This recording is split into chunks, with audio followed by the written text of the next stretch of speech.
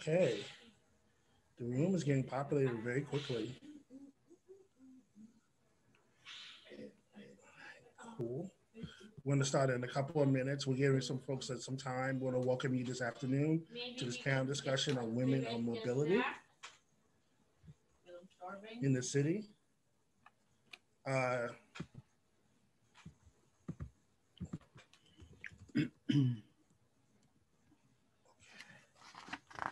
All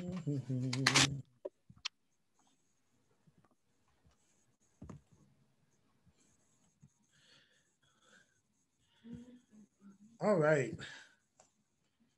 Let's start in a few seconds. Three, two, one. All right. Good afternoon, everybody. Uh, good evening to our guests in Europe. Good afternoon to our, our folks in the East Coast. Bon dia, good afternoon, hello to everybody. My name is Kazembe Balagun. I am a project manager with the Rosa Luxemburg New York office.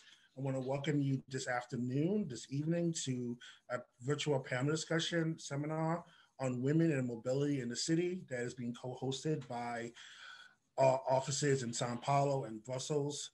Um, this panel discussion is a kickoff of a series looking at the issues around mobility justice um, we'll be having another uh, round of uh, conversations on March 25th on race in the city, and another one on uh, April 22nd on free public transportation for all.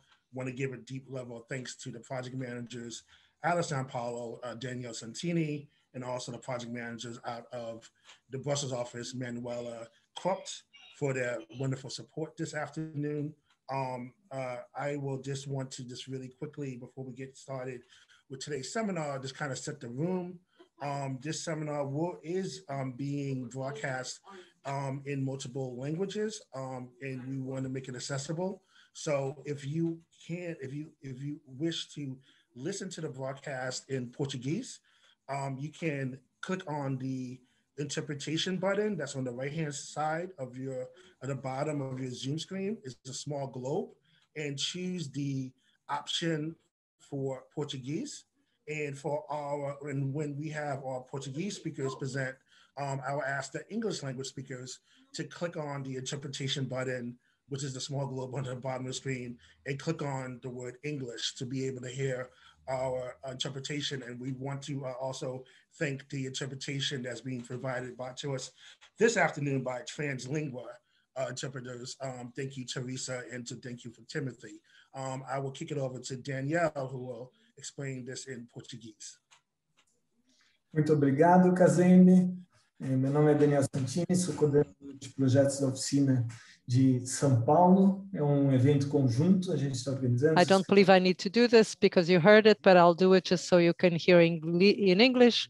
It's, so this is uh, co-hosted by Brazil, Brussels, and New York. Anyone who wants to listen in Portuguese, please select the globe at the bottom of your screen where you see interpretation. Choose English if you need to hear in English or Portuguese if you want to listen in Portuguese. And you can also mute the original audio, which allows you to mute the, the background sound that you'll hear if you're listening to interpretation. The options today are English and Portuguese, and I would like to thank for the partnerships. It's very good to work collectively and together at the international level. So thank you, Kazembe. Obrigado. Obrigado. Um, we uh, this is again an international effort between the offices of Sao Paulo, Brussels, and New York. And to give a brief introduction and welcome, I'd like to welcome to you on stage right now the director of the New York office, the executive director of the New York office, uh, Mr. Andreas Günther. Andreas, good afternoon. Hello, uh, hello everybody, and thank you, Kazembe, for the uh, nice introduction. Um, yeah, I'm glad to welcome you all for this uh, first uh, event of a series on uh, public transport and uh, mobility in the city. Um, Rosa Luxemburg Stiftung, uh, for those uh, of our attendees who do not know so the organization so good, is a progressive think tank, an NGO that is working on uh, civic education and especially dedicated to fostering the ideas of uh, social justice and democracy, amongst others. Um, we, the New York office, uh, and uh, as it was already mentioned, this is a cooperation between uh, the Office of New York, Sao Paulo, and Brussels, about what I'm uh, especially happy today. Uh, the New York office has been working for uh, on the right to the city for many years now. An important part of that is tra public transport and mobility accessible mobility in the city. Um, and you cannot think the problem of uh, public transport and mobility uh, without thinking the question of women and public of, of women and mobility. It is, uh, and uh, women are especially uh, concerned by this issue on, in many ways, uh, be it as uh, still the uh, predominant care workers very much involved in uh, service business, uh, working uh, at unusual times, uh, and still also the tradition that uh, maybe yeah that that they have to do special things and are much more on their ways in the public transport and still if you uh, access uh, New York subway uh, coach, uh, you will see that uh, that women are the majority in this uh, still. And of course, so the accessibility of public transport, of mobility in the city has a lot of economic meanings for women, but of course, it is also a question of participation, of democracy. You cannot, um, of course, we have now kind of virtual participation, but you, uh, a lot of participation is, is connected to coming from one place to the other and being uh, present, present at places. And that is not possible, possible without access to mobility. So that were just some thoughts from my side, of course. Uh, we have invited uh, panelists that cannot can explain who can explain that much better than I can, and so I don't want to uh, further delay the interesting discussion that we will that we are expecting.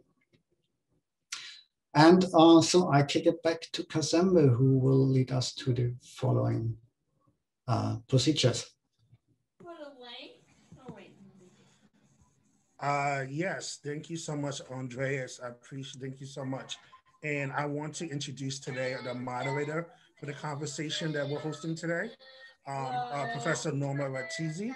Uh, she's a professor of geography at Concordia University. She's the co-chair of the Planners Network. Um, she's also a member of the board of Black Rose Publishing Books, Black Rose Books, in addition to being on the editorial board of Progressive Cities. We're very honored to have you join us today from Montreal. Uh, thank you so much, Norma.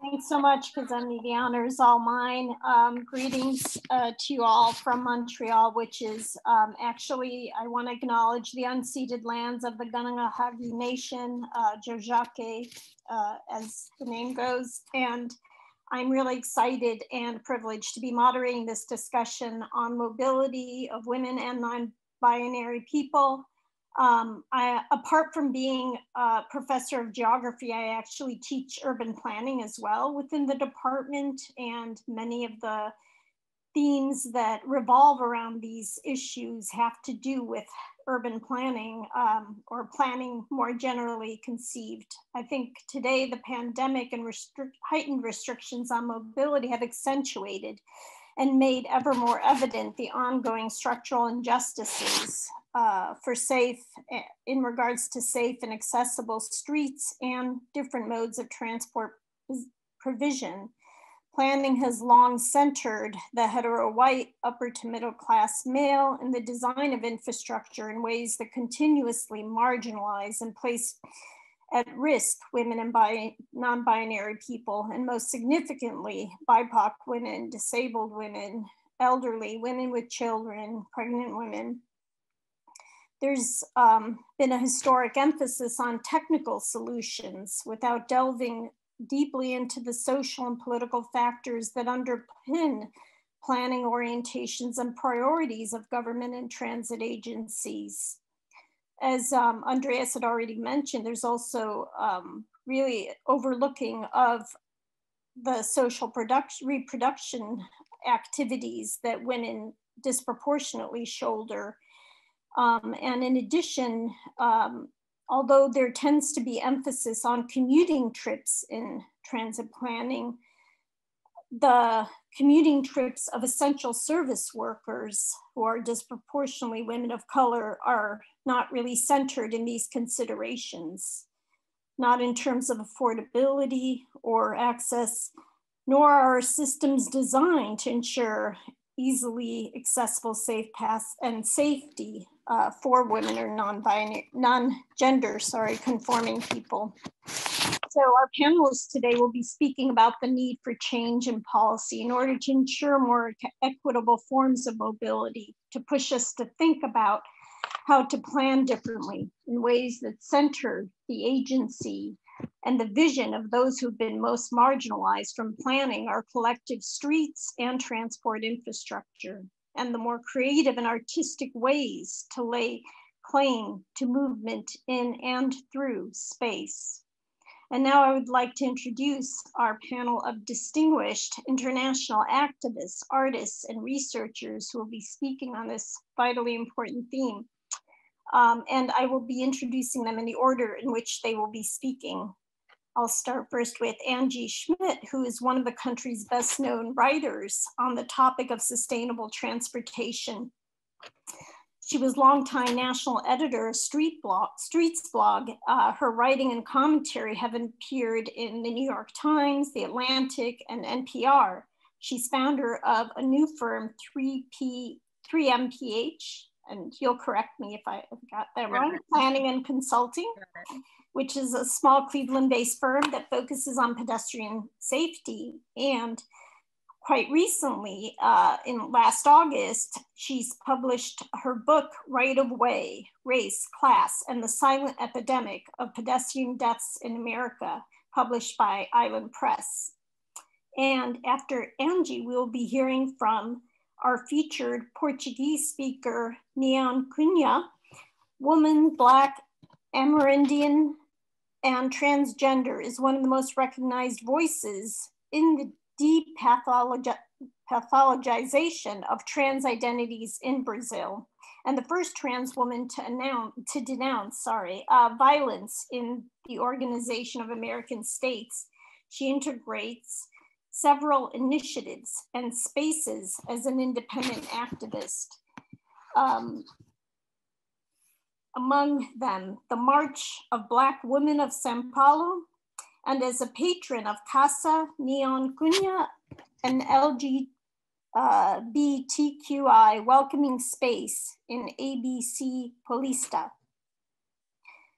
And then after Neon, we have Alexandra Millonig, a researcher with the Austrian Institute of Technology. She's been conducting research on mobility behavior and mobility data collection. She works on the topic of gender and mobility and can explain how our transport systems and transport infrastructure need to change in order to meet mobility requirements of women. And after Alexander, finally, we'll have Ebony Noelle Golden, who's an artist, scholar, and culture strategist from Houston, Texas, but currently based in Harlem. She devises site-specific ceremonies, live art installations, creative collaborations, and arts experiments that explore and radically reimagine um, viable strategies for collective Black liberation. In 2009, Ebony founded Betty's Daughter Arts Collective Collaborative, sorry, a culture consultancy and arts accelerator that devises systems, strategies, and solutions for and with education, arts, culture, and community groups globally. Um, our so I'm going to now uh, first, before I guess I hand it over to Angie, I just, in terms of just some housekeeping matters, um, we definitely want to encourage Q&A, question and answer period, and we ask that you put your questions in the Q&A um, rather than in the chat. Um, and we need to be mindful that we do have uh, translation going on, uh, although I, I don't know that I was as mindful as I should have been, which means speaking, uh, enunciating and speaking a little more maybe slowly than we might normally speak. Um, and just a reminder that there is a globe to the bottom right of your screen where you can select the interpretation channel for English.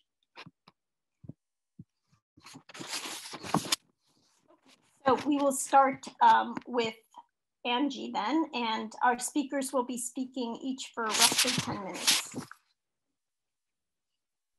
Awesome. Thank you so much for that introduction. I, um, I have a couple slides I wanted to share, just, just a few images. So I'm just going to pull that up real quickly. Um, you know, my background is a writer and it's focused on um, the United States context.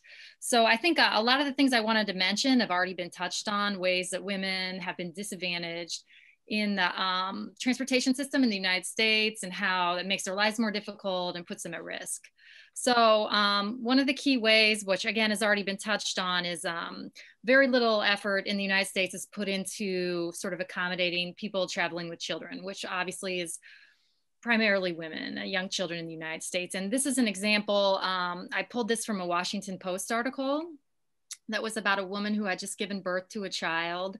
And um, the baby was just turned three months and she was venturing out of the house for one of the first times after giving birth.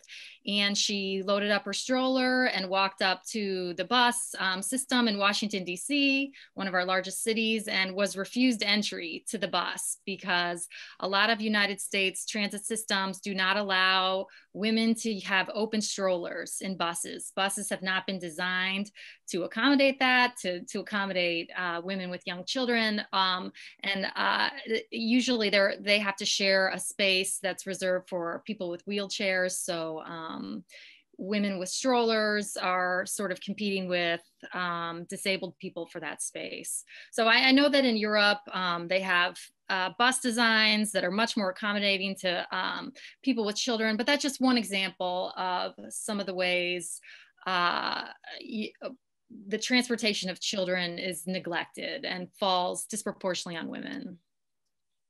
Um, women also face uh, special safety concerns. I should say women and um, non-binary people. Um, and they, uh, they face a lot of these concerns on transit. Uh, this is, um, this chart here on the left is from a study that was conducted in Los Angeles about sexual harassment on transit. Um, you can see actually not um, non-binary folks had some of the highest risk, but again, this is a this is a major concern uh, for women as well. Um, so much so that, that there was there's some research out of Los Angeles showing that um, when a new light rail system was added, people from women from the neighborhood were half as likely to take advantage as men were, primarily due to fears about crime. Um, and, and, this is, again, this is something that is um, a big problem that is uh, present in every transit system in the United States and is a well-known problem and is, uh, we know, impacts behavior quite a bit and discourages women who are the primary transit riders in the United States who make up the majority of transit ridership from riding. Um, and yet it's um, barely been addressed by our transit agencies. Only a handful in the United States have addressed this in any way. There are some um, I know in other nations, uh, for example, in some Asian countries, there are special train cars for women, but um, that kind of thing is almost unheard of in the United States. Um, the Canada also, I know, has implemented some interesting responses to that. So uh, a little bit, I, am just sort of uh, sort of listing some of some of the barriers. Aqui so, estão algumas das barreiras. Um, so another big issue is um, has to do with housing in the United States. Um, this is a you know this chart shows the percentage of housing um, in these major U.S. cities that is single family housing. Uh, in the United States, we have a zoning code that um, encourages uh, like for example here on the right shows all the lands in yellow that is reserved for single family houses only in the city of Seattle. So as you can see, a major city, almost all the land area is reserved only for single family houses. And I this is uh, this really goes back to some sort of patriarchal heteronormative um, history we have in the United States dating back to the 1950 and the suburban era, where we've we've basically outlawed building um, different housing types, including apartments, in large swaths of all of our cities, and uh, some suburbs will uh, entirely exclude um, multifamily housing. So this, uh, why do I bring this up? And you know, obviously housing and transportation are very closely related. Um, and th these uh, prohibitions on apartment buildings, um, they increase the price of housing and they may put it out of reach for uh, women, especially women who are single. Um, and they increase the price of housing and also um, single family houses can increase domestic labor. So uh, it puts additional domestic burdens potentially on women compared to uh, shared housing facilities. Um, okay, so moving along, we also have this issue in the United States um, where our vehicles have become increasingly uh, large and terrifying, especially in the last few years, sort of in the Trump era. And this is an image I use in a lot of my presentations. It shows here this this is my son when he was four years old, standing in front of this is a, a lifted Ford F250. Um, the slightly smaller version, though, of this this truck, the Ford F150, is the number one selling vehicle in America, and um, has been for a long time. And you can see. Um, how this vehicle has a very, very large forward blind zone. Um, there's, there's groups that have done uh, different experiments where they're able to sit as many as 30 children in, in the forward blind zone of a truck like this, and they're totally invisible. So th this, um, to navigate children through an environment um, that is dominated by these kind of vehicles requires a degree of vigilance from parents. And again, because the parenting responsibilities fall primarily on mothers, um, that is just really intense. And um, when children are injured or killed in traffic crashes when they're playing outside in the United States, um, generally the response is to just to sort of blame the parents. Um, so rather than put the responsibility for keeping children safe on drivers and imposing rules on automakers that would create a safer environment, we've chosen to put that burden sort of on families. And it, it's having, um, I, I just, um, there's a new study out that's very interesting. I, run, I wanted to mention um, by the Insurance Institute for Highway Safety. And they found that this is actually because of the, we've seen this huge proliferation of large SUVs and pickup trucks over the last decade in the United States. It's been very profitable for automakers, but it comes with um, some really negative safety effects, especially for people who are pedestrians. But um, this new study found that um, very sadly, women are more likely to be injured or killed in a car crash than men, even though they um, crash less, they crash their cars less, and they take less risks. The reason for that is because they're they're driving smaller vehicles compared to, um, you know, the marketing of these kind of vehicles is very much geared towards men. This is the masculine vehicle to drive. And when men driving these kind of cars crash, which they do more than women, um, they injure women driving smaller cars. So I, I just think that's really disturbing. Um, finally, and lastly, and this was touched on earlier, uh, our our transportation engineering and planning system is focused almost entirely on easing car commutes. Um, and this is an example of we we we have a, more and more of these giant interchanges in the United States. You know, these things they it's not unusual now for interchanges of this scale to cost a billion dollars to upgrade and fix. So we, we see that in all of our ma major metros almost now, even smaller places like Milwaukee have multiple billion dollar interchanges and, and the, so much effort and expense goes into creating this, these kind of facilities that are aimed at maybe they shave a few minutes off a long distance car commute from the suburbs that happens you know in the typical nine to five hours. And, and i think um, meanwhile we have I, I asked someone recently or i reached out to my network does anyone know of any transportation agencies that are studying caregiving trips? Um, what do those look like? How can we help facilitate them? And the, the response was basically no no no um, transportation planning agencies in the United States are looking at that and working to facilitate it outside of we do have one program called safe routes to school which is a line item in our federal budget um, that ends up being tens of millions of dollars compared to a $50 billion annual surface transportation budget.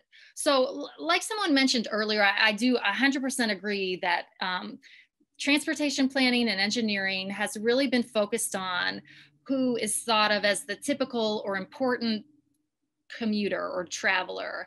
And that is sort of thought of in everyone's head as you know a, a, man probably a white man at middle age who commutes in a car from the suburbs to the city. And i think it, it it, it, causes a lot of problems, not just for women, but for other people who fall outside of that sort of persona. Um, people with disabilities, their needs are being overlooked. Again, women, women with children, even people who are retired, elderly, children are, are all are not very well served by this dynamic. Um, so I'm going to stop sharing my screen and turn it over to our next um, guest.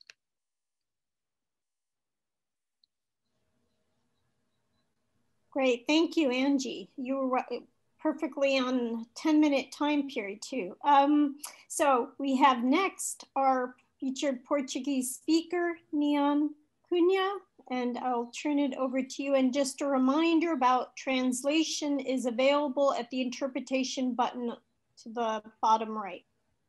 Thank you.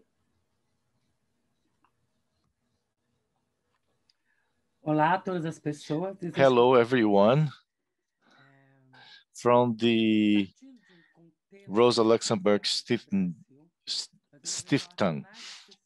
we specifically to a region of Brazil called São Paulo, which is part of a large uh, state. It's a large city. I will even be more uh, specific. I want to introduce to a new thinking uh, about women who leave their spaces of origin to provide to in hope for a better life. Uh, it, that should be noted in Brazil because 56% of this population is Black women of all different uh, kinds of uh, sexual orientation and gender identities, and a uh, very uh, unprivileged social class uh, who are uh, harmed by several kinds of constructs, social constructs. So I need to talk specifically about trans uh, women. The right to the city, to mobility, to enjoy the city needs to be looked at much more broadly. Uh, from a socialist point of view to defend democracy. The right is to exercise democracy by the entire population. Uh, in Brazil, we have a uh, a process of pretense of defending democracy. Eggy Gisberta in the 1990s, a Brazilian woman, uh, left São Paulo from a neighborhood called Casa Verde to uh, live in France, stays very shortly in France and goes to Portugal. Gisberta uh, was a Brazil is a Brazilian who lives from prostitution. She's a trans woman living with HIV, uh, homeless, who uh, ends up in a religious institution for youth in the city of Porto. Gisberta was killed at 42 years of age. She left Brazil to escape extermination of uh, trans uh, women. Gisberta is executed. She promotes the discussion on gender identity and cultural identity. Thus, she promotes a legislation that understands the specificities and the subjectiveness of this existence. Uh, it's been 15 years since Gisberta's uh, death. Brazil it has the most trans women killed in the world. These women are violated and from their rights. Last year, 175 women died. Uh, and I would say that that number is underestimated. 80% of them are Black and living from prostitution. In addition, the average life of these women is 29 years. We don't have precise studies because we don't have information. We are trying to introduce the gender identity and sexual orientation to uh, government official researches and census. On that in introduction of the absence of public policy, and more than that, the social welcoming. I wanted to tell you about a case uh, which mirrors so many other cases, which is the death of a young woman, 25 years old, in a uh, clandestine plastic surgery clinic. She's trying to, she went there to get a prosthesis. We're talking about the right to have your body as an expression of yourself. So in that clinic, there is a fire and this woman is abandoned, uh, sedated on a gurney and she died from smoke inhalation at 25 years of age.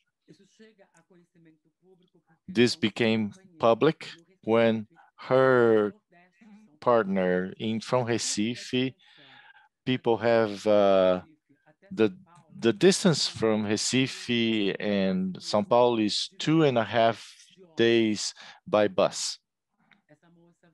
So this woman came to have this uh, surgery uh, because the prices are better and uh, they have this clinic. Unfortunately, uh, she died. And the, the, a major difficulty was to bring her body back to her family. So there was some politicians tried to help to return her body to her family. Here in, I am the patron uh, of an institution with my name for LGBTQI who know of my work. And in 2016, the OAS received a trans woman to talk about violations in, and that happened as late as 2016. There are other factors that are extremely urgent for us to understand and to give attention to. A population that is homeless,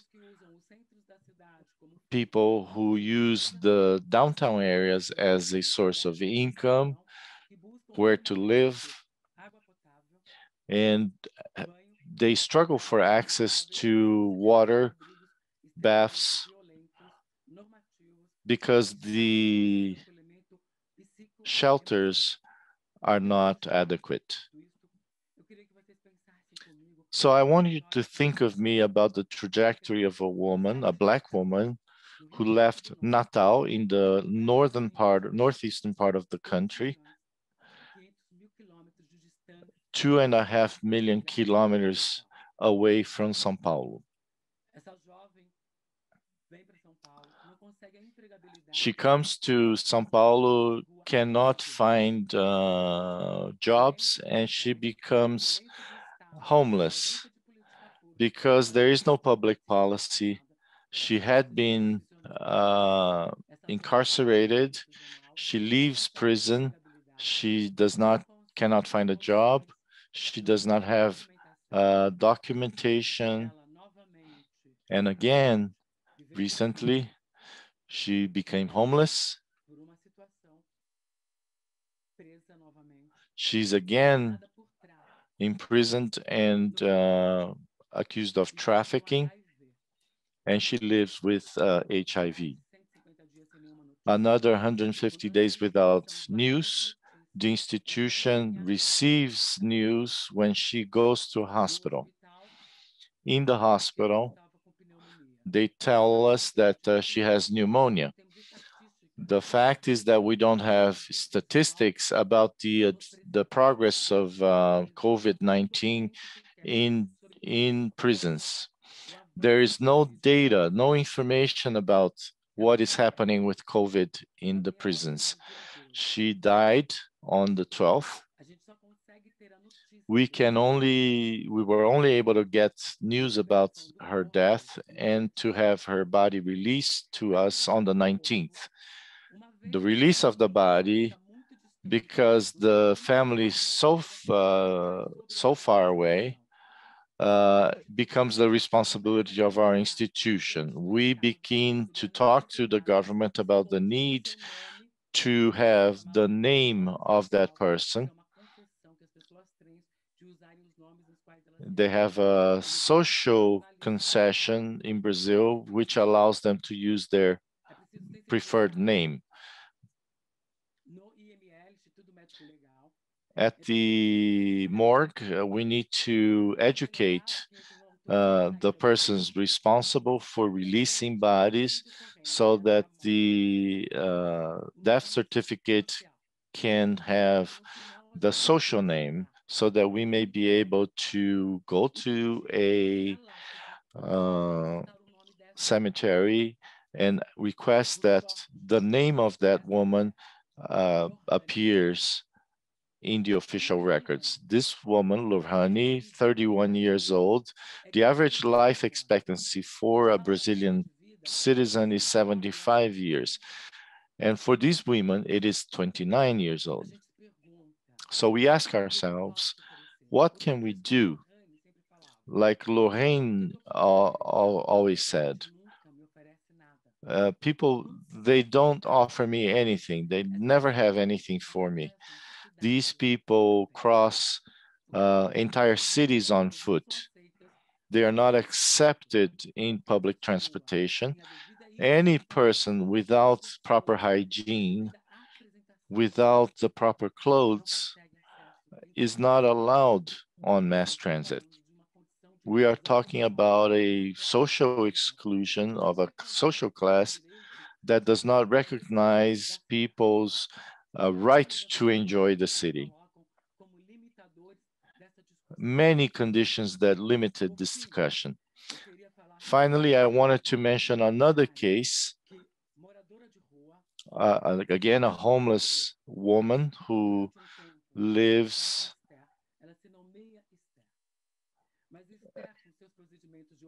uh, under the name Esther.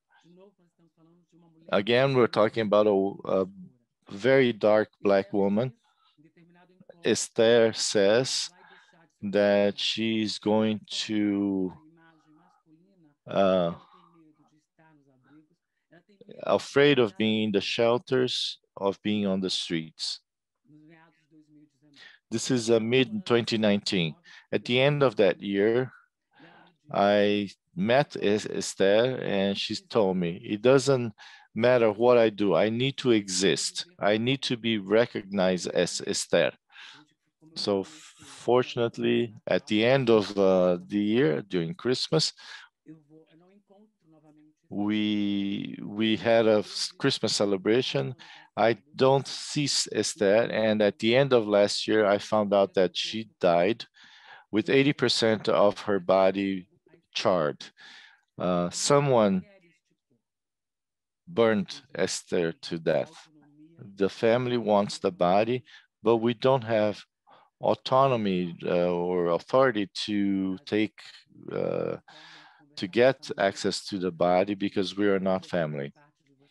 And the family is asking whether we are going to uh, to do our part.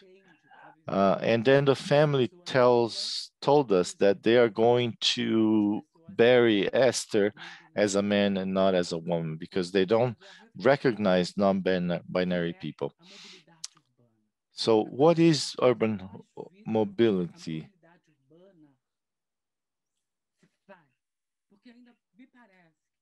It seems to me that with all the with all the constructs, it has to do with some privilege, either immobility or the idea, the pretension that people's gender is more legit, legitimate than trans people's identities. So I ask, who is going to provide mass transit in the future? Women uh, have difficulties even finishing uh, high school. So education is precarious, culture is, is difficult. Again, there is a process of cultural uh, dominance by a certain class of people who manipulate access. And to me, future is only possible if we can discuss democracy from early childhood.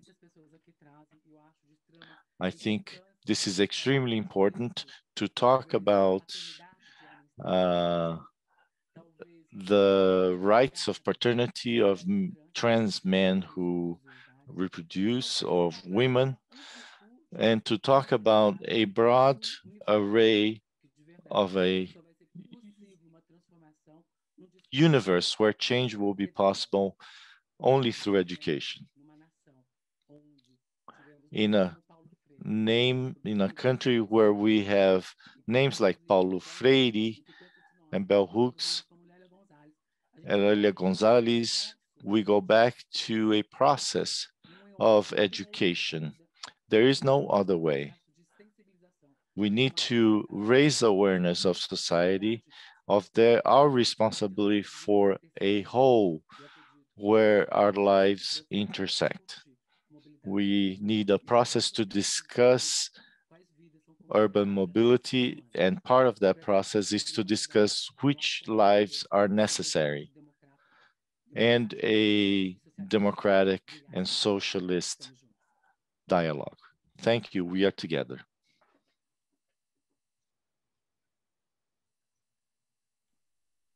Thank you, Nian. And I just wanted to mention that I, I think one of the things that both of our speakers have highlighted is the real genuine dangers and violence um, that our current systems are really enabling and upholding um, in different ways from land use and transport infrastructure to really the dominant social constructs that our institutions um, prop up and highly discriminatory ways. Um, and as the case of trans Black women in Brazil is illustrated. So thank you so much for, uh, for both of your talks really pointing out the, the genuine dangers that we face and much and conf must confront at, in different ways.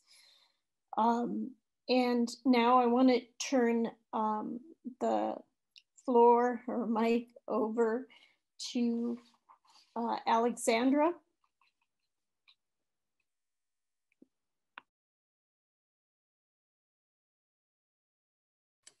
Thank you very much. Um, turning uh, to to Europe and uh, my my uh, research I'm doing in the in the area of mobility behavior.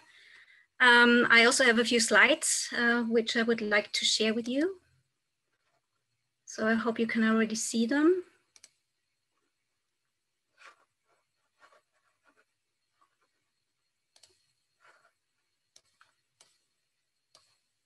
So just let me know if you can see them. Yes, we can see them. Yes. Excellent. Um, yes, uh, in Europe, the discussion is a lot about uh, inequalities, but also uh, climate change. So uh, we actually, we have uh, several issues to solve here. And uh, what we, what, what I am working on is understanding how mobility behavior is developing, how it's evolving, uh, what different types of behavior there are, and uh, what are the elements of behavior change and how can we support behavior change, especially in the light of, of climate change. Um, I'm a senior scientist at the Austrian Institute of Technology. Uh, have been working uh, in that area for uh, plus, uh, 15 plus years.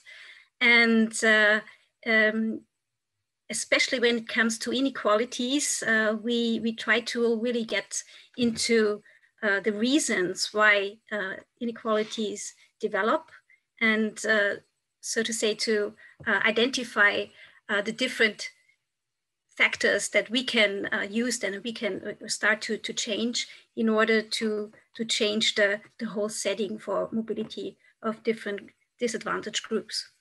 So what is actually the the term uh, female mobility aiming at. So what do we mean uh, by female mobility?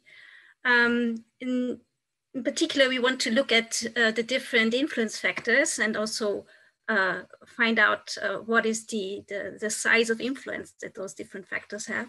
And uh, Norma already mentioned it, that the, the urban um, development and, and, spatial development has a, has a really large impact, impact on the mobility behavior um, because it's basically the, the, reason why we have to get out and, and uh, take any means of transport is that uh, our destinations are distant. So not everything that we want to do uh, during a day that we um, want to reach is within walking distance.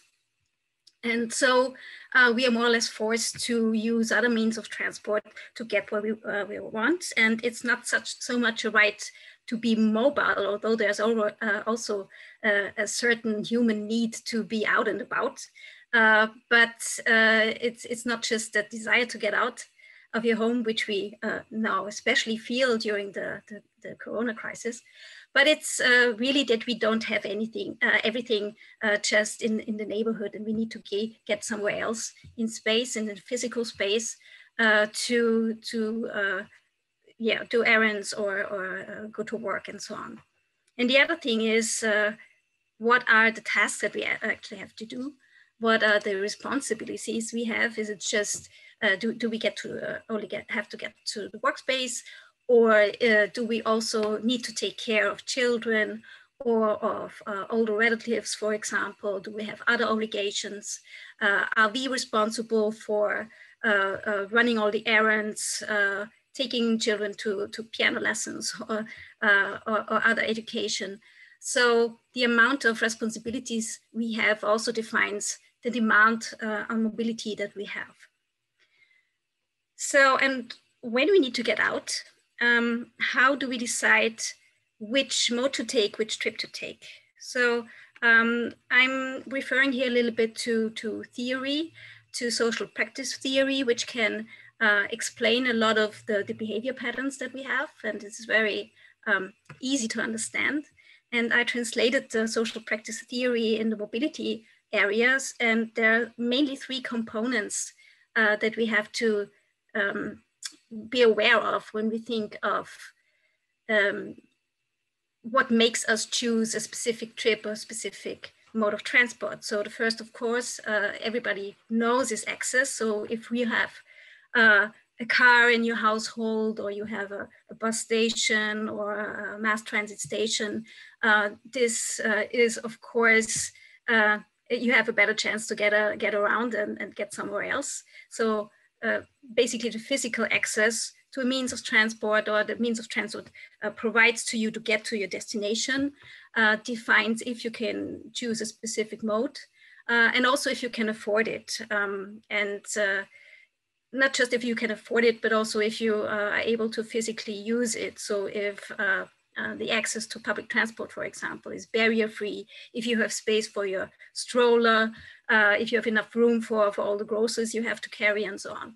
So this is uh, going really to uh, define uh, your decision which mode to take, but it's not just the only one. Uh, not just the material you need, the infrastructure and the vehicles, it's also, uh, do you know how to use them? Uh, do you have the, um, the, the, permission to use them? So do you, do you have a, a, pass, for example, for using public transport? Do you have a driver's license? And do you know how to, to deal with it? Do you, did you have training or is it simple enough to use? So uh, those can pose other barriers to use a specific mode, uh, mode of transport. And there's a third very important dimension, which is ambition. So how much does it mean to you to choose a, a, trip or to do a trip or to choose a specific mode of transport? So that's more the, the emotional level. So while the first two components will define if you can do a trip and if you can use a specific, a specific mode of transport. The third one is going to define if you want or dare to use this um, mode of transport, for example, or at a specific time of day, for example. So taking together um, these three components uh, and, and, and, the two elements I was talking before uh, about, this uh, helps us to understand the sources of inequalities.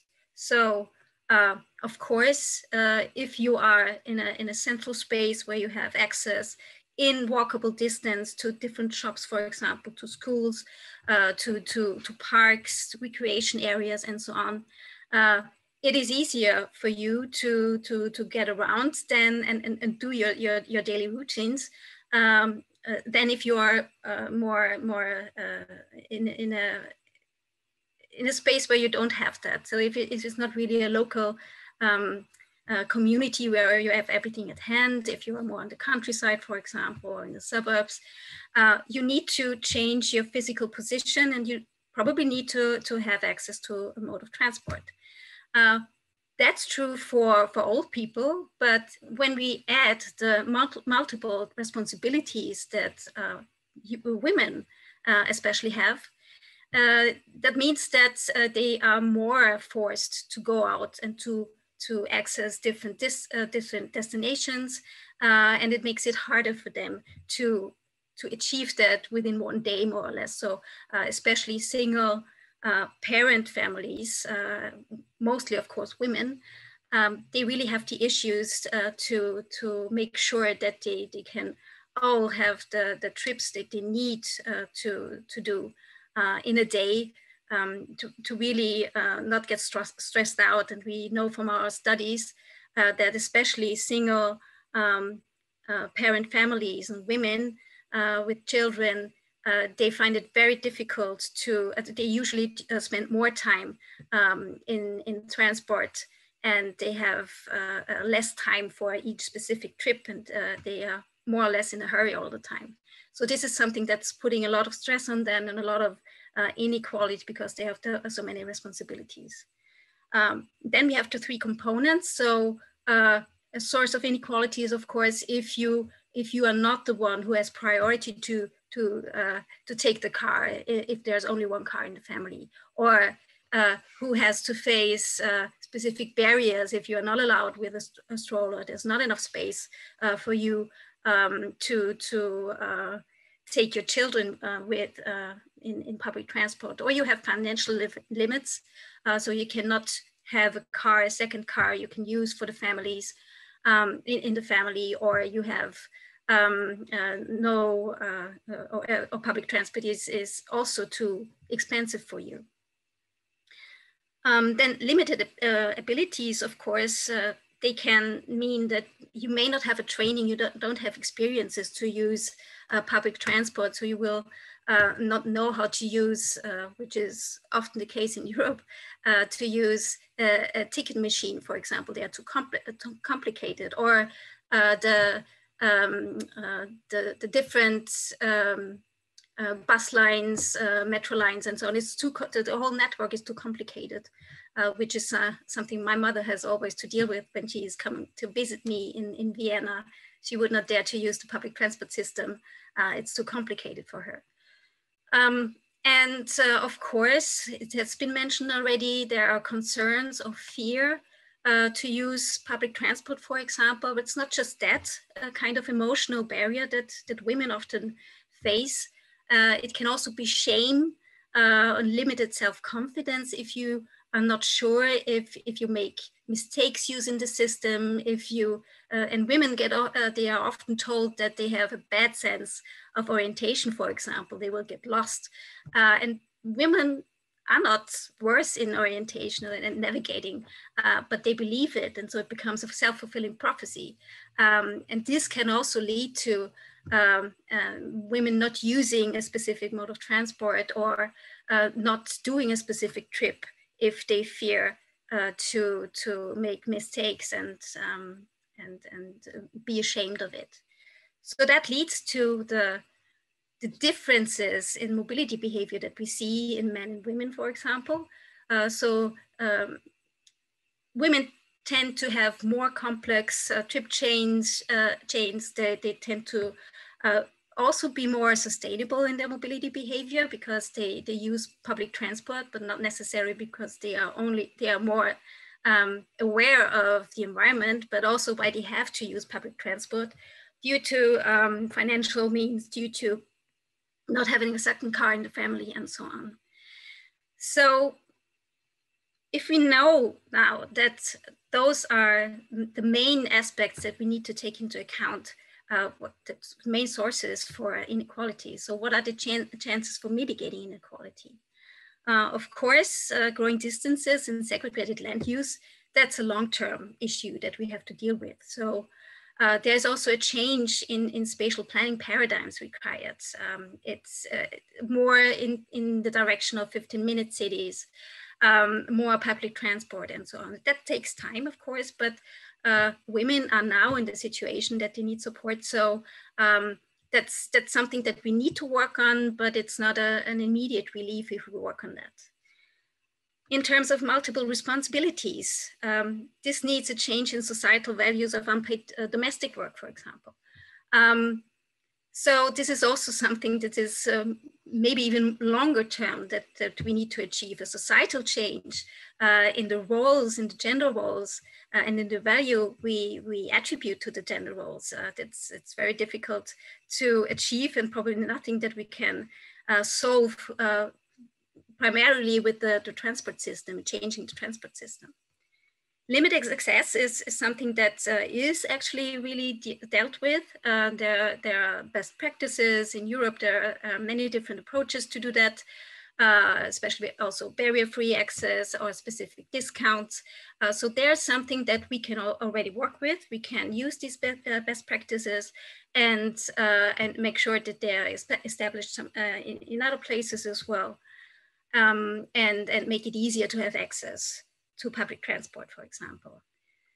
When it comes to limited abilities uh, and or, or uh, if, if a system is too complex, which is often the case for public transport, um, it is a little bit more tricky. Uh, it, uh, some of the services need to be simplified also when it comes to, to sharing schemes, for example, and uh, also um, there are some initiatives uh, helping, for example, migrant women uh, from, uh, from the Middle East to, to learn uh, cycling uh, in the city because they are not allowed to do that, but they get the training. And so they use that as a little bit more freedom um, to, to get around in the cities.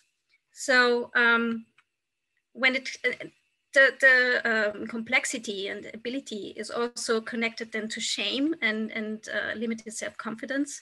And so um, we think uh, that this is not really addressed that much. So there are not that many concepts how to deal with that. Uh, there are concepts to, to deal with safety and security um, uh, issues, uh, but uh, really get, um, getting women more uh, and, um, and, and, easing the emotional barriers is really very difficult. And actually we need to, to do more work on that. And there's also an issue I wanted to raise uh, concerning if we make it more easy to use public transport, for example, with children and doing errands and so on. So if we make it more easy for women to uh, to be in their role, we might also um, it, it, might be a trap because in that case uh, we may also uh, cause that women, women will continue to be responsible for these uh, these issues. So um, the other hand, if we if we want to have uh, women in the same roles as men, so they, that they also have the same big cars and so on, this is um, in, in, with regard to, to climate change, that's also not a good solution. So to to finish uh, my contribution today, I would invite you to a, a little thought experiment, a project that that we have been working on and continue to work on. Uh, imagine that. Um, uh, with regard to climate change, we, everybody of us is aware of the amounts of emissions uh, they are more or less allowed to emit to reach uh, climate neutrality in uh, 20, uh, 20 years or so. And that uh, we uh, reduce that amount and we distribute all this, uh, the, the, the, allowances in, the, in the population. And those who need more uh, mobility, you need more transport because they have more responsibilities because they are not in, a, in, in, in, a, in an urban center. Um, they receive more allowances than those who, who have uh, lesser trips and have lesser responsibilities and have everything in the neighborhood. So that would mean mobility budgets. That's actually a concept we uh, developed in, in, a very small uh, project in the recent years, and we are just starting uh, um, a transnational project in, in Europe and another national project, uh, project where we uh, start testing that. So it's about very much about fair allowances, a fair distribution of allowances uh, regarding spatial uh, situation and social situation, um, which would give people their, um, so they have, they would have more power to, to understand uh, the consequences of their mobility choices uh, and also to understand the mobility uh, needs that different groups of people have. And on the other hand, uh, the, the uh, authorities on the, on the policy level, uh, they could set measures to, um, to ease the burden of, uh, of those who have really limited allowances and, and find it very hard to, to cope with that. Um, and maybe this would also mean that if, if men uh, see that if you take more responsibilities, you get more mobility allowances, maybe they would, they would uh, be inspired to take more responsibilities in the families. Uh, and we could all follow a sufficiency principle and reduce um, high energy transport uh, and turn to more public transport uh, in an equal way. Um, and let's see if this works out in the project. Uh, I'll share it. I will be glad to share it with you if you're interested. Thank you very much. Thank you so much, Alexandra. Um, we're going to go into right now a video that Ebony, our final speaker, has shared with us. We're going to start with the video that is being um, set up right now. Get up! Get up! Get up!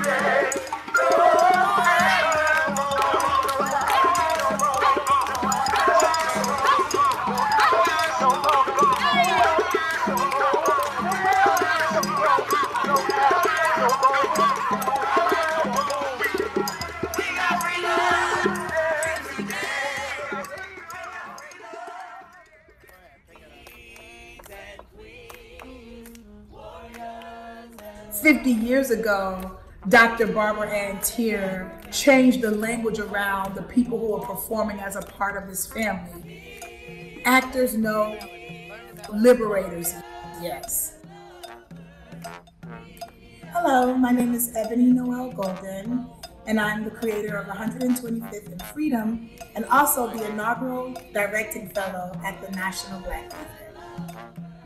This 50th season for NBT is a accumulation and a manifestation of the work that's been done for the last 50 years.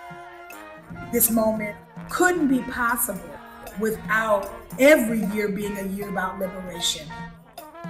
And for 125th and Freedom to be a part of this, it's beyond my wildest dreams. I'm learning about my capacity to stretch beyond what I think I know. I am here to use every creative capacity for my people, for our people, for all of the communities that I want this to resonate in. You don't have to be a poet. You don't have to be a dancer. You can be a bus driver. It is all of us on this planet together, in this universe together.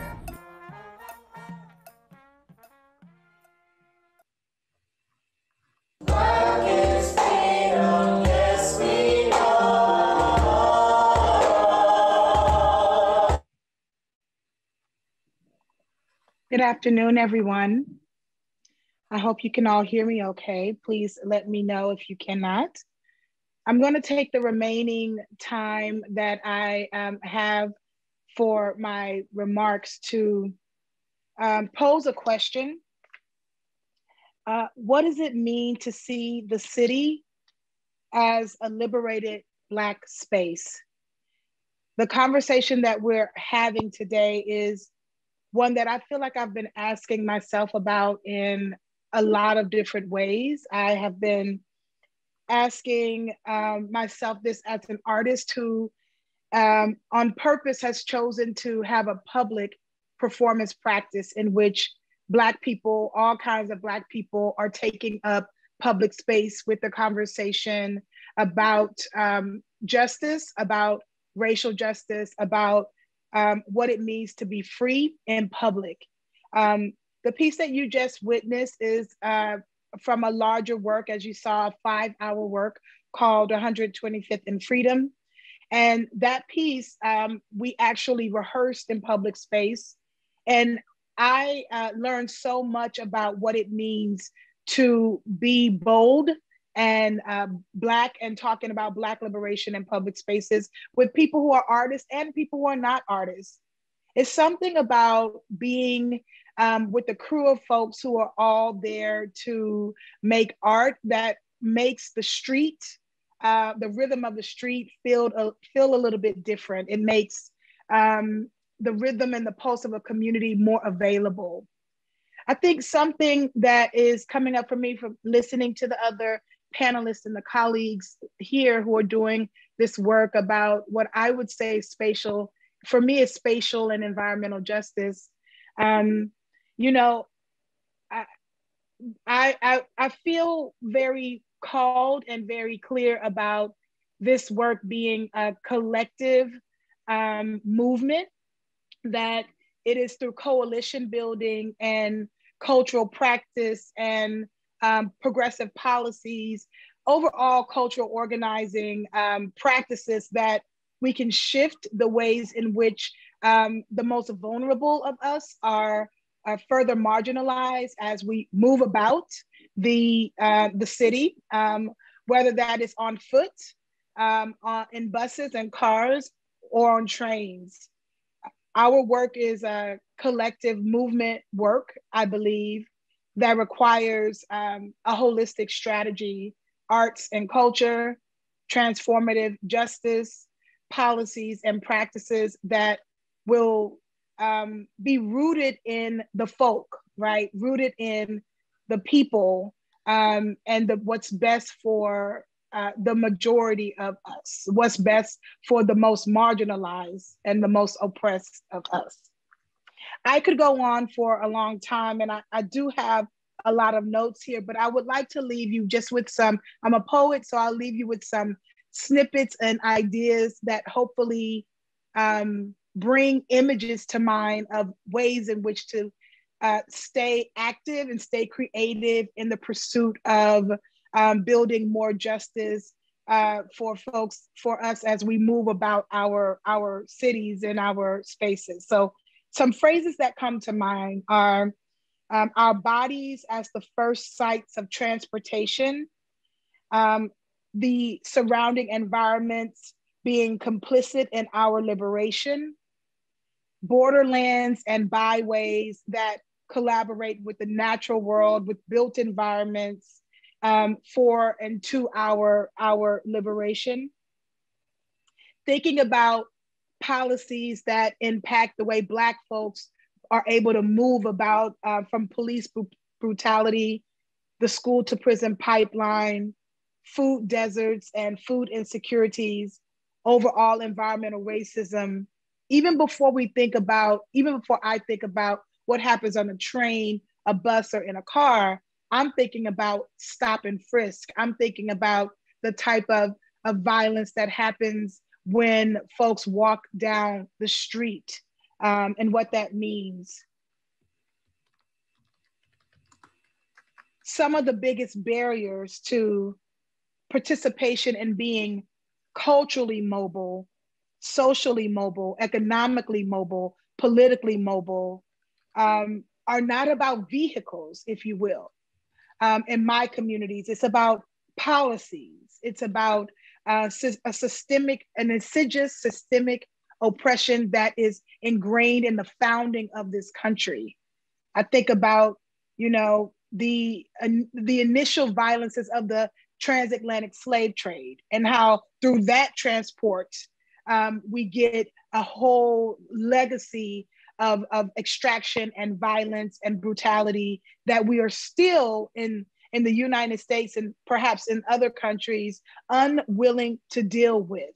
Um, and so I am advocating for um, a politic, a poetic uh, of public space that is rooted in Black feminism, that's rooted in womanism, that's rooted in um, the pow- the, the land movement that is the power of the people to steward the land and steward the way we uh, move about the land, one that is harmonious, one that is um, supportive to the well being of the most of us um, and those that are most marginalized.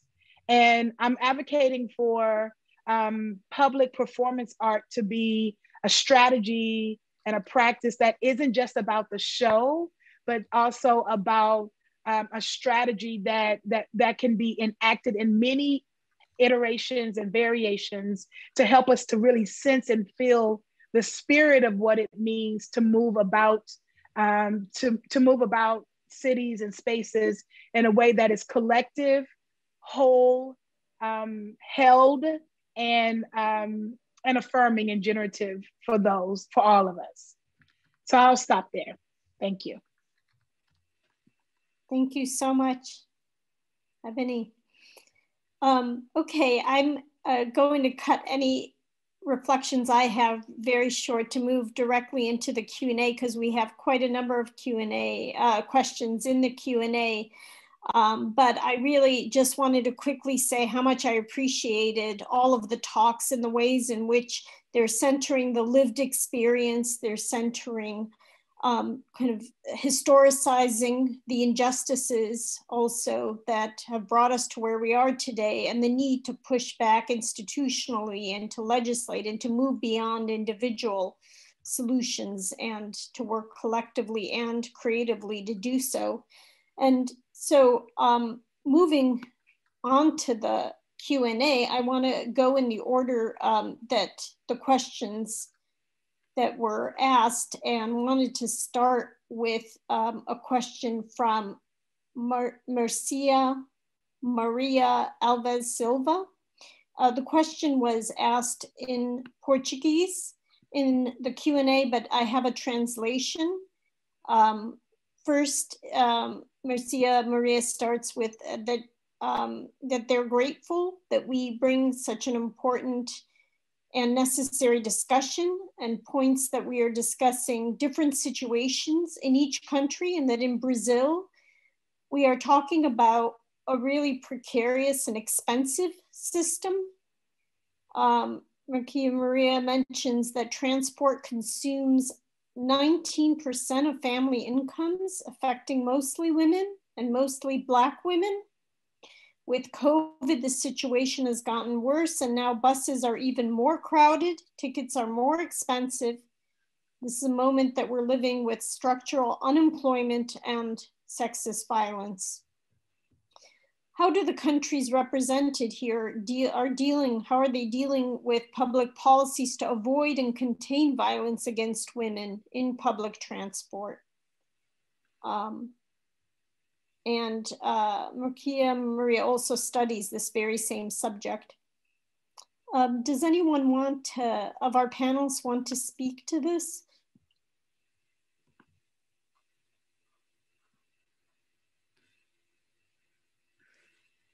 Yes, Alexandra? Um, yeah, thank you. I, I have to say that um, we are in a very privileged position here in Austria because we don't have uh, really reason to be afraid as women if we go on public transport. So there's hardly any issues for us to use public transport even in the evening. So um, we also, uh, the, the public transport providers here, they take uh, precautions uh, by uh, also using different uh, technologies to like CCTV and so on, but probably that's not a reason to, to that's, that's not enough to um, make it safer. Um, but it, it may cause people to feel safer at least. Uh, the only issues that, because I'm a researcher, we also have a lot of uh, work uh, now regarding uh, automated transport when it comes to automated shuttle uh, shuttles, for example, buses and so on, uh, that there is a concern that that might also cause additional um, yeah, issues then for, for women using public transport at night because uh, a bus driver, for example, he has not just he's not just driving the bus, he also has a social, social role um, to make sure that everything is in order um, and uh, that, that, that, people are behaving and so on. Um, so that might cause uh, in the future, if we turn to automated uh, vehicles, uh, that might cause a problem. Uh, and this is something that uh, we are currently discussing, but I have to say, I, I I almost feel ashamed that I, I don't have any experiences how to deal with, with safety issues in, in Vienna because we don't have, have them. Oh, security issues, not, I have to say safety issues there are, of course. Thank you, Alexandra. It's, it's hard to hear all the, all the stories. Anyone else wanted to speak to the question? Okay. I I'm feeling um, called to just to lift up the ways in which folks in my communities um, are not reliant on the state for safety in um, in terms of expectations um, of the, the government to keep us safe. And it, it, I think it has to do a lot with where we are um, in terms of politically in the United States, in terms of the way Black folks are um, historically and in this contemporary moment are treated. I'm, I'm, I'm called to, to, uh, to, to talk about um, an organization or an initiative that I know of. I can't call the name of it, which really is about trans women, um, Black trans women coming together to figure out how to move around safely at night. It is not safe on the train in New York City for trans um, folks to be, you know, moving about in some cases. And so they've come up with, you know, there've been there've been uh, strategies about folks moving together. Again, this collective moving, especially at certain from certain parts of the city at night. If you, you know, are, are coming home and you are in one of the boroughs outside of your your um, you know, if you're coming back from a place outside of where you typically live or you typically reside in terms of your social life, and you're coming home late at night and you may be dressed differently or you may look differently than what people are uh, typically assume you to look like and you're alone, then you're a target. And so there are multiple initiatives um, that in which trans folks are coming, moving about together. So folks are not alone. Um, and I think that is something that that I would like to spend more time kind of thinking about, or what are the ways adjacent to government, you know, that people are moving underground, that people are moving in order to, to um, have a sense of collective care and collective safety. Because the reality is, for many reasons, all you know, people can't afford the train. People can't afford the bus.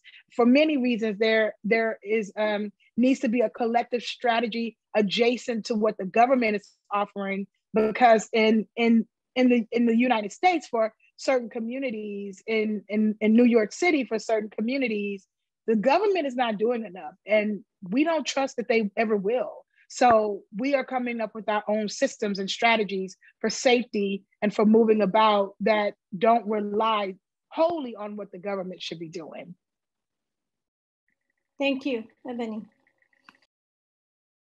Um, you know, I'll just jump in a couple examples that I know of internationally that I think are useful. Um, in in Canada and some other nations, they use this idea of a night stop on transit. So um, uh, if a, a woman or they've expanded it to anyone can request this if they're on a bus late at night they can go to the driver and request. They want to have a special stop that's not at one of the scheduled stops so in between stops and they want to be the only one that gets to go off there. So it's a way for them with the help of the bus driver to sort of remove themselves from a situation that might be dangerous. There are also groups in the United States that are um, taking on the police presence in transit and the issue that raises, um, especially for people of color.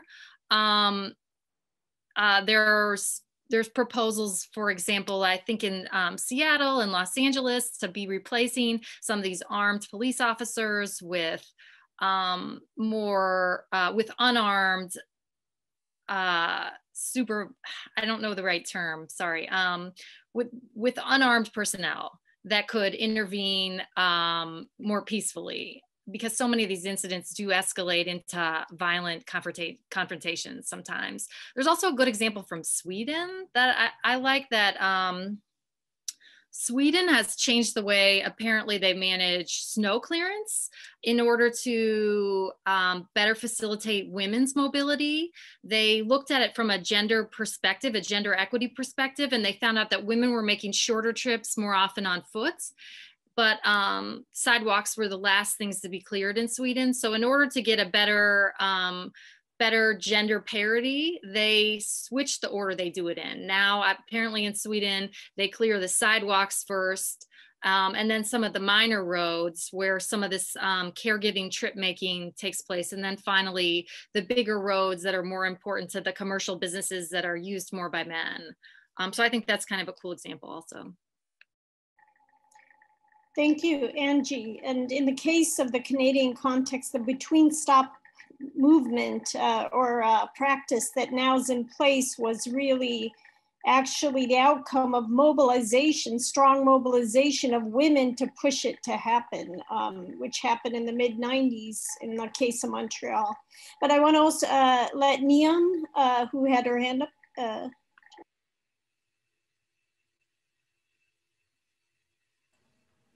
Sim, Yes, I will be brief.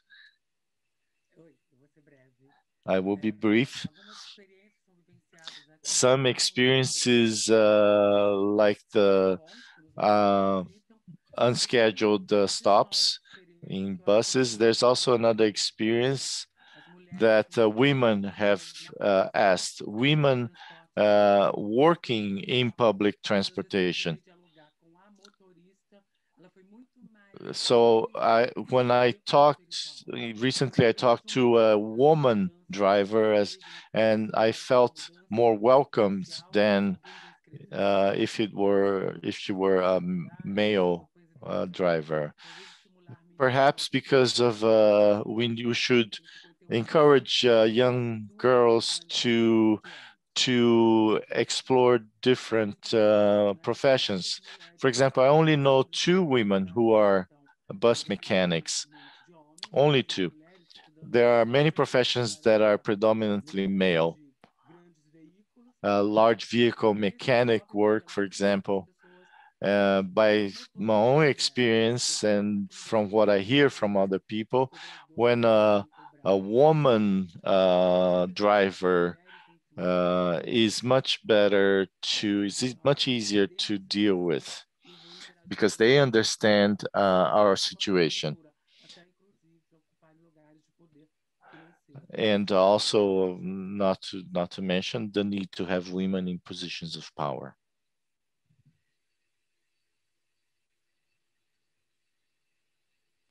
Thank you, Niam. Also, um, sorry, I will move on to the, the next uh, questions uh, from Cobra Fabian. In Germany, the main debate about safety in traffic is the question of maximum speed limits. Is this an issue in the US too? Are maximum speed limitations a federal issue or is it a state issue? Um, so uh, that's one, one question, but there is also a point raised by um, in the chat by Lena Gades, also from Germany, that there's also an issue of sexual harassment and violence in public transport and public spaces. Uh, particularly many women and queer folks do not feel safe using public transit, especially at night or being alone on the street. So um, just wanted to also include that. But on um, this question of uh, the speed limits Oh, sorry, can you unmute? Yeah. Um, so yeah, we do, well, actually uh, in the United States, the pattern has really been in a lot of states to be raising the speed limits. And um, it's sad because we have terrible, um, we sort of have terrible uh, traffic fatality rates compared to a lot of uh, nations in Western Europe and some nations in Asia. Um, so we, we have about 10,000 speeding related deaths every year, according to, to statistics, federal statistics, and that's probably an undercounting. There has been in some cities a movement to lower speed limits. New York City recently lowered its um, default speed limit from 30 miles per hour to 25. Portland recently lowered their speed limits to 20 miles per hour. And um, there is a lot of evidence that that has helped lower vehicle speeds in and of itself, just lowering the speed limits. However, there's um, a lot of concerns right now that are very pressing about enforcement um, and traffic stops can be very freighted for um, Black folks and some other folks of color. So um, it's uh, it, it's it's a really it's a really controversial sort of topic. Thank you. Um, another question coming from Brenda. Oh, I'm sorry, Alexandra.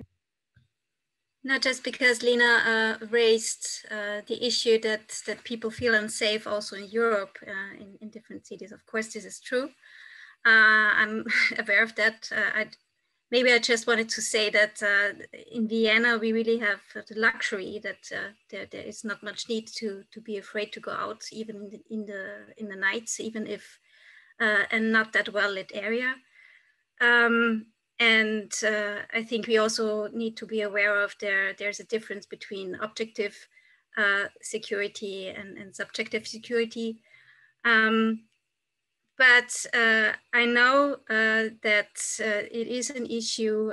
I was just shocked to, to hear about all these stories and, and just felt lucky where I am. Maybe I wanted to share that. please forgive me. Thank you, Alexandra. Um, we have also a question um, from Brenda Alves about um, whether there are analytics indicators about trans women in public transportation. If anyone has um, any statistics on that in their respective places.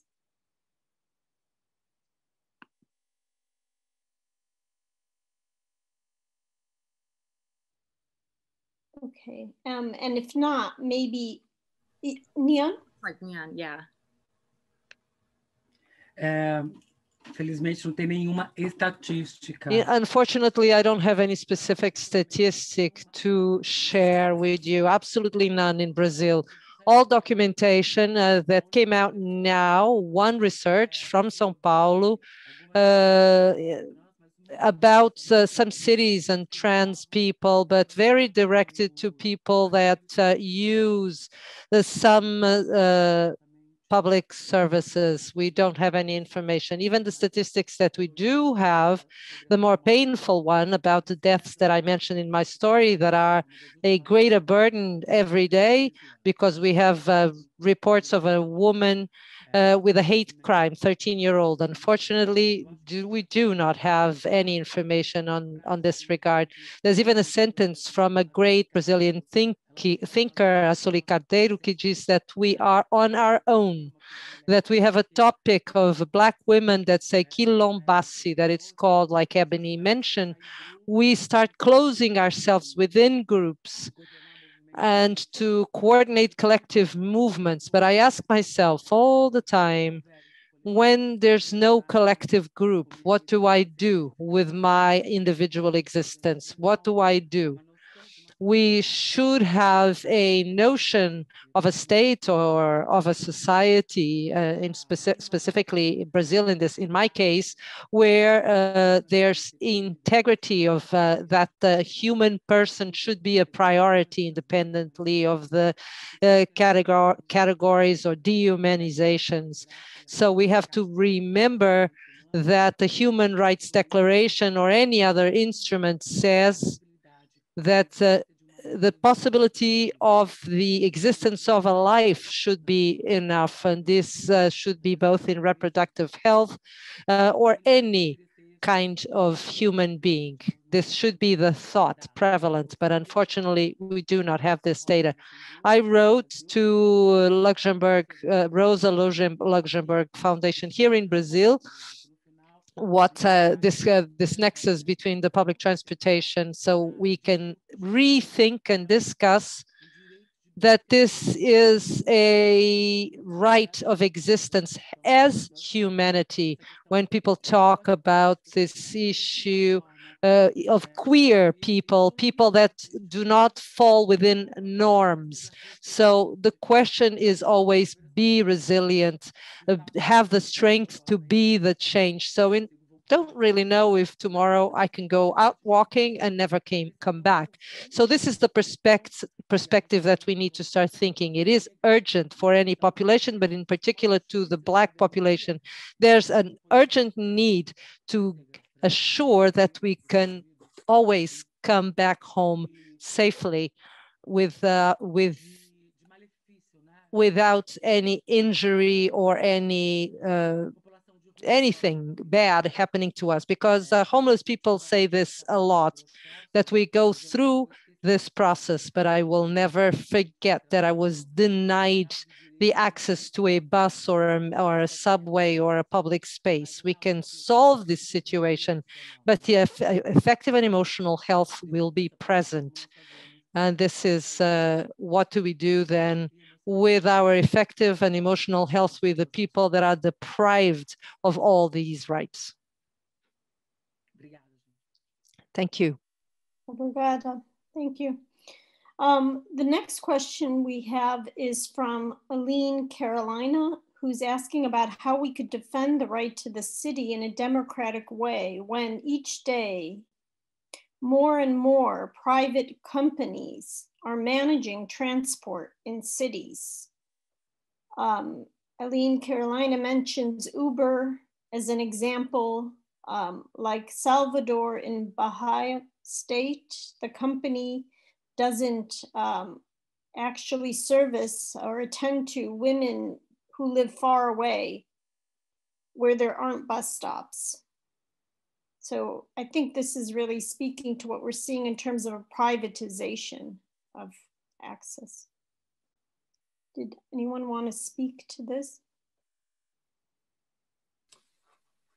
Yeah, and Uber is often, their vehicles aren't accessible to people with disabilities and also they don't provide um, child uh, child seats. So i you know i know a woman who's blind who um, for blind folks uh, at least access to uber and lyfts um, can be really liberating but because she has a young child this service is just not available to her and that's um, at least safely. And that's one of the problems with having a, a private company because um, you know if those services are public, we uh, people can insist on ADA um, requirements and that type of thing, and that that's kind of falling under the radar in that.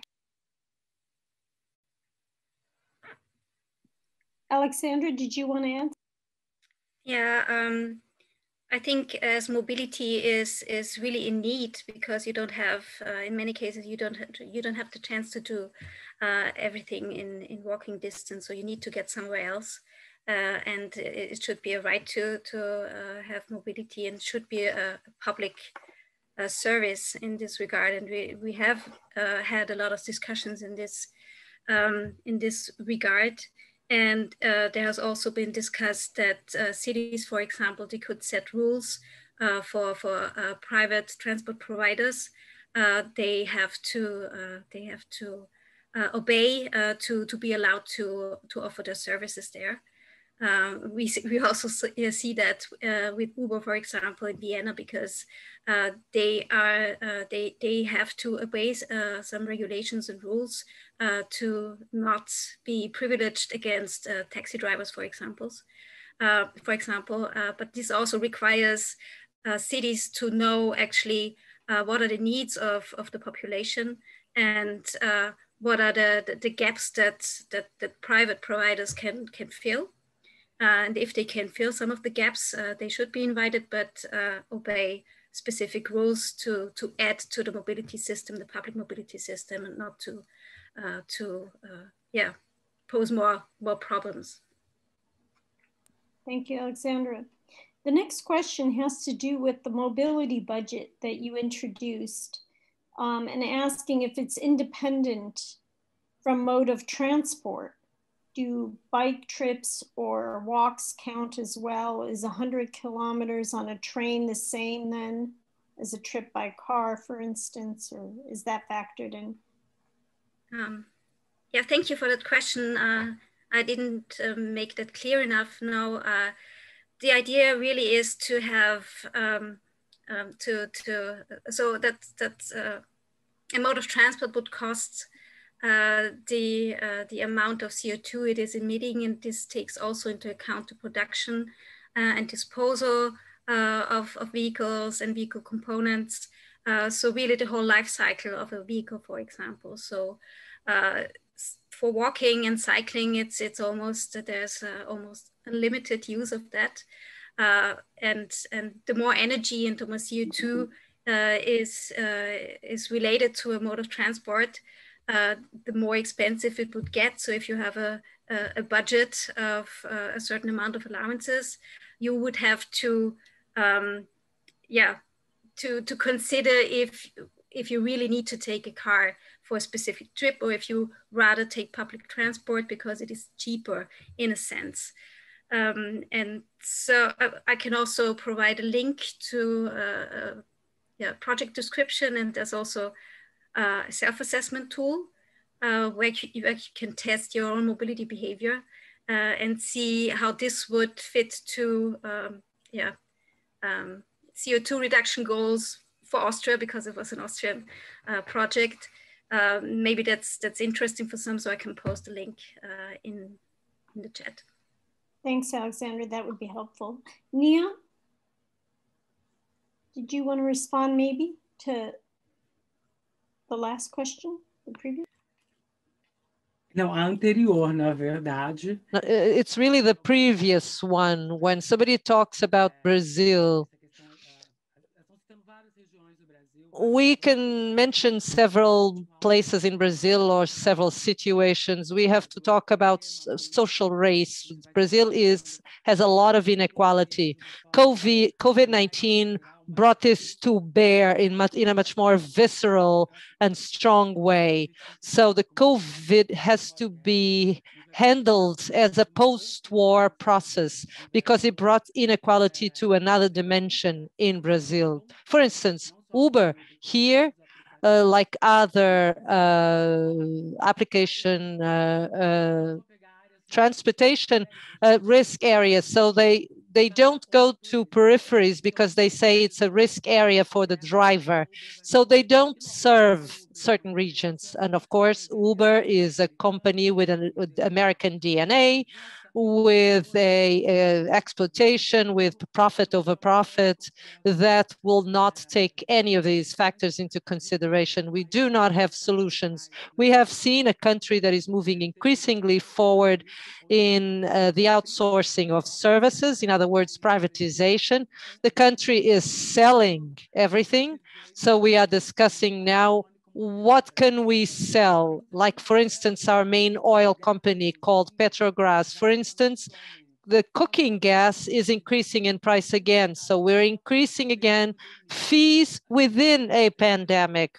So in Sao Paulo, we go into a pandemic and they remove access, uh, free access to public transportation to anyone above 60 years of age like a person, Anna Cardoni, that one says that one of the solutions could be bicycles. Yes, bicycles. But what you forget is that how much bicycles are robbed in Brazil. That's a high rate of bicycle robbery. So we have to think of the entire construct uh, that it means to use a bicycle as a transportation means. They steal them. So they steal them where you park them. You don't have anywhere to park them. You have N situations. So it all depends of where you live. It's all very precarious. So this is a debate that will only result in a consistent change. If it comes from the a demand from this a more conscious and demanding social society because we for instance like the United States just uh, moved away from the government like Donald Trump's government, and we still have a Bolsonaro government who has no interest in considering these questions to have a, so we have to have a higher response from the social society because we have two more years with uh, in which we have no one to dialogue with. So we need to create a positive and progressive perspective that uh, for which we cannot find uh, foundations because a great number of Brazilians elected Bolsonaro.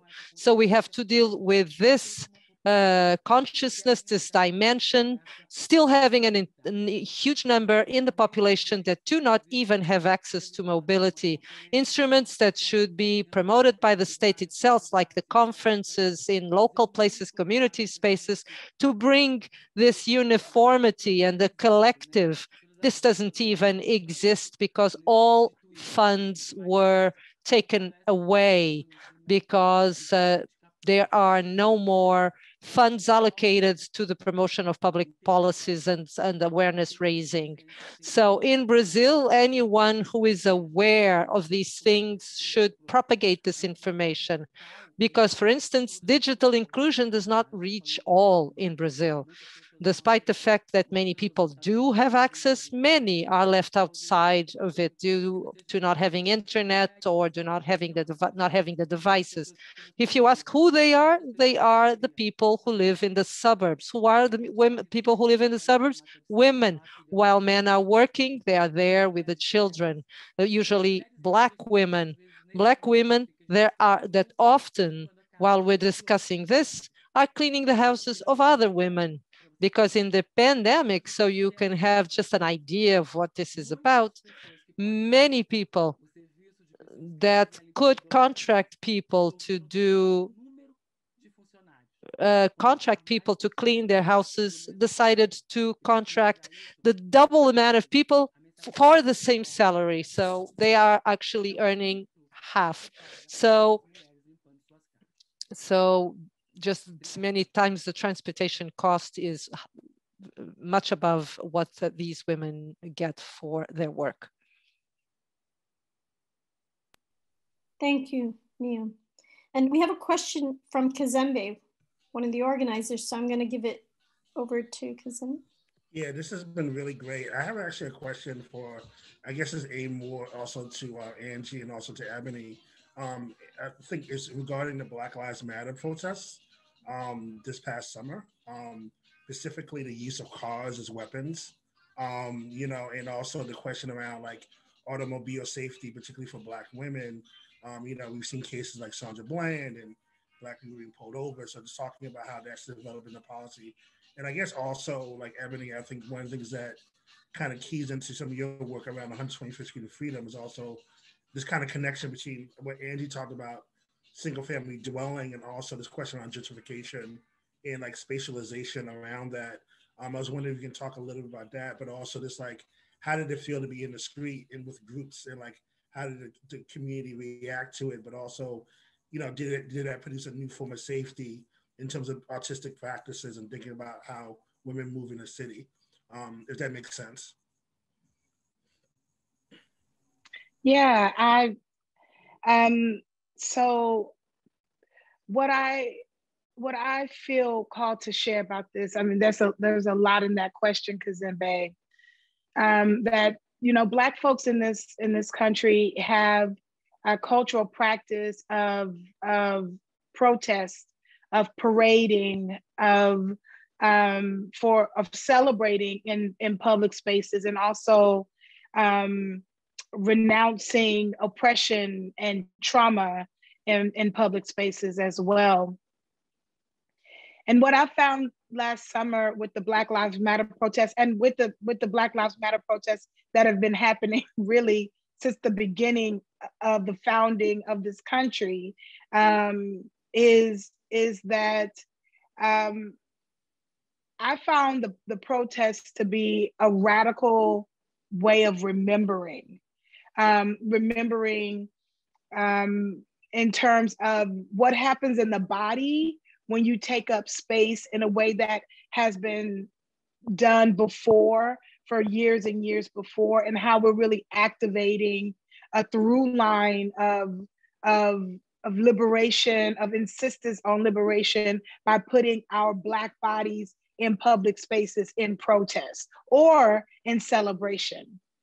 And um, so while I personally did not find it necessary in 2020 to be out in the street for the, the, the series of Black Lives Matter protests that were happening, I was in the street in 2019 doing this work with 125th and Freedom in 2018 and 2017 and 2016.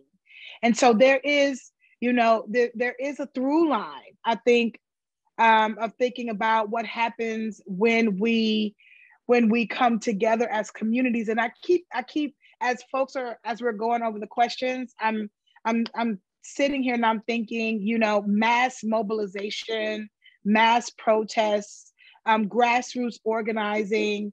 This work has been over like for for for generations. The work of um, moving around the margins to to to make space for people who are who are systemically systematically excluded um, has always been through a practice, a multi-pronged strategy of working, maybe working along with government, but really what is happening at the grassroots? What is happening underneath the surface that doesn't doesn't um, doesn't require going through state sanctioned ways of supporting the needs that we have. Yes, the government should be doing a lot, but I think you know it's it's increasingly and, and definitely through the process of being a public performance artist i am learning the power of us being there. You know the power of us being there.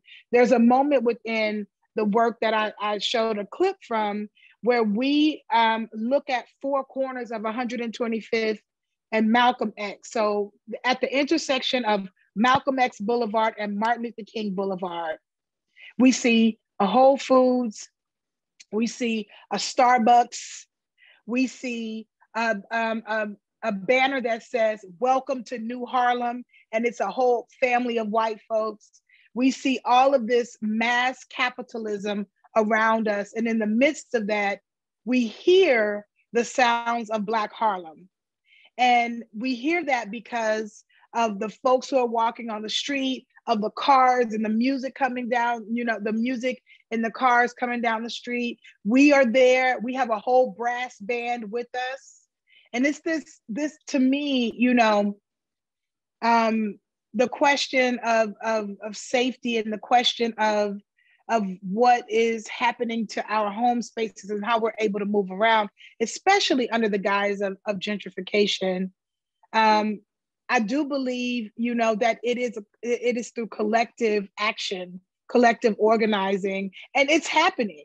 There are folks right now who are organizing for housing justice in Harlem, in New York City, around this country. There are folks right now who are establishing mutual aid networks um, because of you know the, the current, like just last week, Texas had no electricity, parts of Texas, no electricity, no water because of a a snowstorm, you know, and parts of Mississippi, parts of the South that don't typically have these types of issues. And in the midst of asking, you know, in the midst of having these expectations from the government to do certain things, in the midst of that, we're also, I think, doubling and tripling down on what it is that we're doing at the grassroots. And I, I wanna, if I don't get a chance to say anything else before we before we wrap up, I want to I want to just say, you know, I want to say power to the people, power to the grassroots, power to the organizers. With all of what's happening, you know, there is nothing that shifts without without us, without us de- determining that regardless of what those who think they have the power are doing, we are still honoring and moving and making a way from making a way, you know, to to not just survive but to thrive. Um, it's not easy. I'm not trying to give the government an easy out. Absolutely not. But I want, you know, I want my my final words to be all power to the people. Um, and and we can we can make the change, you know, on on a local level, um, regardless of what the, the government decides to do. Um, we have to. We have to.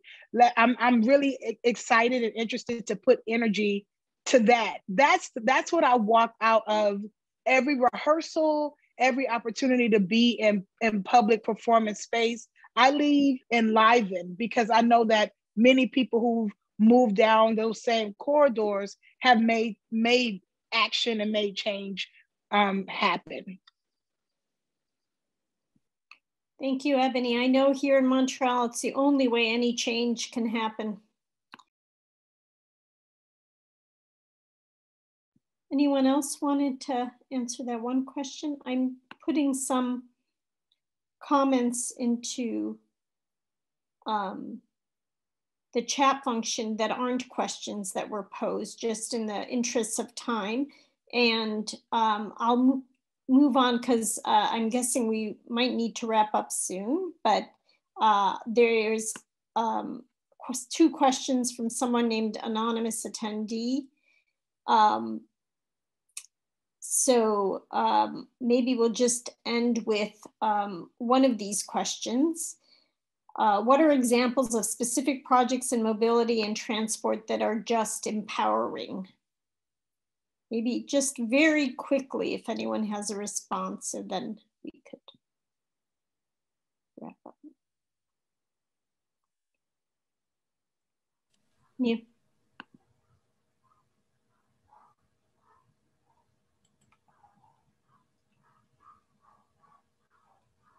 Okay, if uh,